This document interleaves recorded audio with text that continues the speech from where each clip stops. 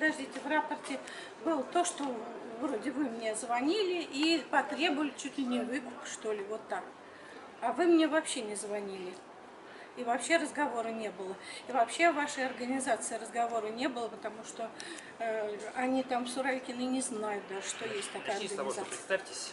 Так, э, меня зовут Раиса Ивановна Рыбникова, я ма- мама Сорокина.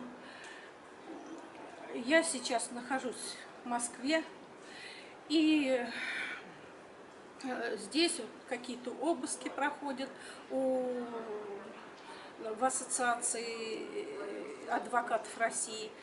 Вы встречались в последнее И время с- э, и ссыл- органами?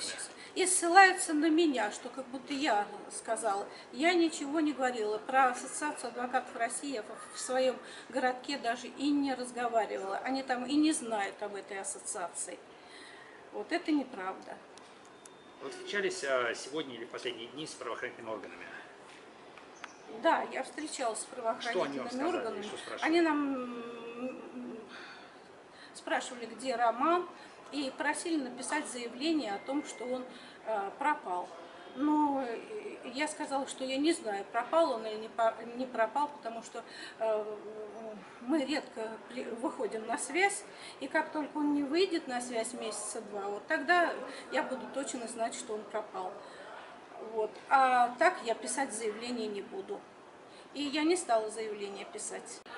Вот. Тогда в, в интернете я прочитала вот отчет э, милиции о том, что э, мне звонила Гюльнара, э, э, которую я, кстати, не знаю, она мне ни разу не звонила. Вот. И, и э, написано, что она требовала чуть ли не выкуп. А у вас требовал кто-то выкуп? Да никто не требовал у нас выкуп. А вам кто-нибудь звонил по поводу того, что удерживает Романа или что-то такое? Никто ничего не звонил такого. То есть эта информация полностью выдумана. Конечно, это выдумано. А с кем вы лично общались из Ассоциации адвокатов России за права человека? Ну, а лично общалась я с Алексеем А фамилию? Архиповым, с А. Алексеем Архиповым. А с Юлией Гусейновой общались? Нет, я с ней даже, по-моему, ни разу не разговаривала. Она вам не звонила по телефону? Нет, по телефону она мне ни разу не звонила. И денег не вымогала? Нет, конечно.